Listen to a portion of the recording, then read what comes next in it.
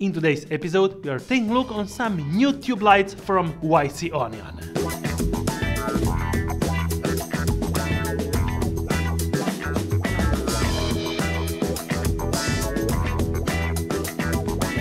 They're called the YC Onion Energy Tube Pro 60 and yes this is the 60 centimeter edition they're available in 60 and 120 centimeters. I got the 60 centimeter version. And I have used them already to shoot and commercial where I was using them in different parts of the scenario to light up the subject or the product that we're shooting for that commercial. YC Onion is also known for their motorized sliders. And yes I have made some reviews and the first link in the description will guide you straight to the YC Onion motorized sliders and you can check them out and actually understand if they are needed in your production. Lately we are seeing a lot of new tube light options from different manufacturers and they're actually trying to jump up in the game on some affordable yet good tube light setups and this is one good example. So let's get straight to the unboxing and understand what you get with this Energy Tube 60 Pro Light. YC Onion soft shell bag to store all the items that you received with it. YC Onion tube light, YC Onion handle stand attachment, small barn door, instruction manual, power cord adapter for charging your battery. This tube light has an actual removable battery and yes, you can replace it with a fresh one and get going where you don't have an wall plug adapter or actually we're out in the field with no electricity. And yes, the full power of this light will last for up to 80 minutes with one battery pack. The maximum power output is 20 watts and it has an CRI rating of 98.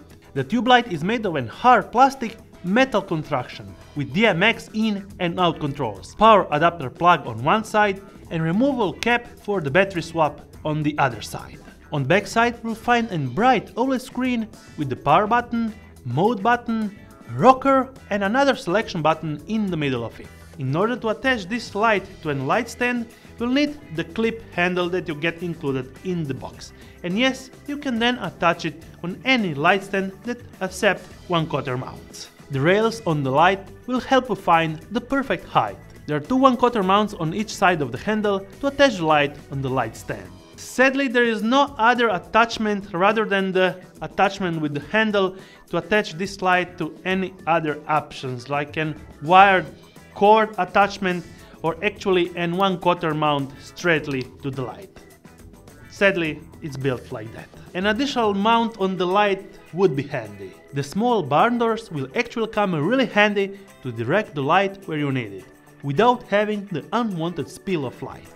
Great little add-on. You can control this LED light in three ways. One it's the DMX control in and out so you can use it as a master or slave, control it actually via the buttons on the actual tube or using the YC Onion app. The easiest way to control these tube lights is actually through the app, so let's get straight into the layout. The YC Onion app is really intuitive and it connects really easily and fastly to it. You will have some amazing options in it full RGB 360 scale with hue, saturation and intensity control. CCT mode from 3200 kelvins all the way up to 6200 kelvins with the compensation and intensity. Effects mode with speed and intensity. Lightning, CCT wide, CCT warm gradient, RGB gradient, RGB red, green, blue, disco sharp flash, police ride red blue, police red green, police light green, police light red and blue. There is also a color light picker so you're able to match other lights or colors using the camera to pick up the selected color. Amazing feature to actually match other lights on the same Kelvin HSI value. I have used these lights as fill lights for a commercial that I was shooting and I was really pleased about of easy of use and actual battery power that lasted the complete shoot for every scene. If you're on the market for some RGB tube lights, this could be actually a good option.